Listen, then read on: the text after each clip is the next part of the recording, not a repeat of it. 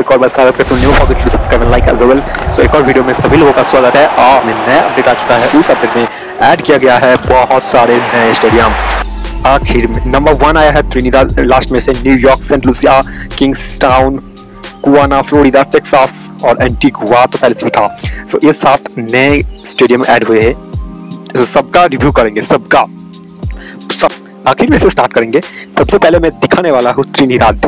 तो रात का स्टेडियम ग्राउंड काफ़ी तगड़ा है और ये ऐसा लग रहा है कि भाई ग्रास बहुत ज़्यादा है। पूरा का पूरा ग्रीन बीच के बाहर पूरा का पूरा ग्रीन एकदम से भरा हुआ है।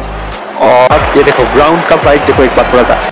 तो अगली बार हम लोग जाएँगे यहाँ पे न्यूयॉर्क का स्टेडियम ये रहा और ये रहा ग्राउंड एक बार बाहर से देख लीजिएगा। एकदम से जैसा लग रहा है कि भाई नया स्टेडियम और बिल्कुल जैसा था रियल में उतना ही तरीके से बनाया गया है और काफ़ी अच्छा लग रहा है। चारों तरफ़ ऐसा लग रहा है कि ग्राउंड के बाहर मतलब आउटफील्ड बहुत स्लो होने वाला है। ऐसा ही लग रहा है। और ये चारों तरफ़ ग्राउंड को देख लीजिएगा थोड़ा ध्यान से एक बार। ऐसे ही मतलब पिच थोड़ा सा देख के ऐसा लग रहा है।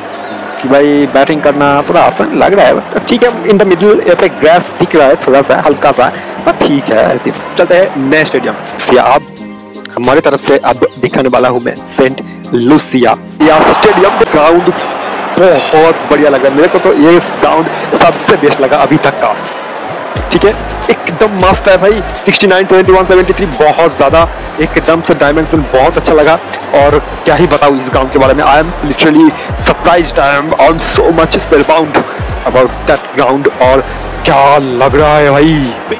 सच में यार ग्राउंड बहुत ज़्यादा ग्राउंड अच्छा लग रहा है। ठीक है?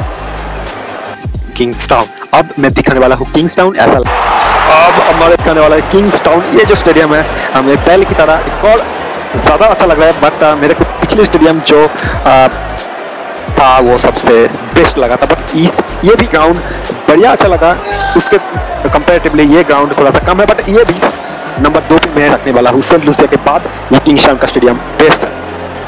आस पास थोड़ी डिटेलिंग में दिखाने की कोशिश किया है। ठीक है एक बार ग्राउंड का डायमेंशन देखो।